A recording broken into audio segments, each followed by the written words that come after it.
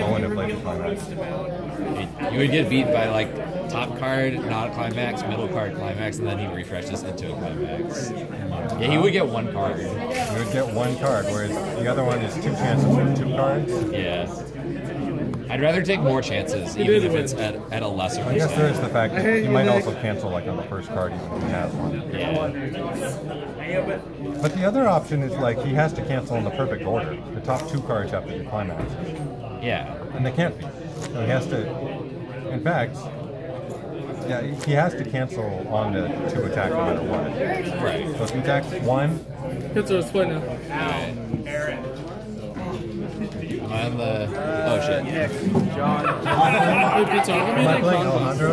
What? How come you didn't clown boss? I wanted I wanted to kill his back row. I only had two stock. Oh, it's 3 3. Yeah. It's not that broken. It's, it's pretty good. It's very good. But it's not broken. In some situations it's broken. Should we just play here? Yeah, why not? Aaron's gonna- yeah.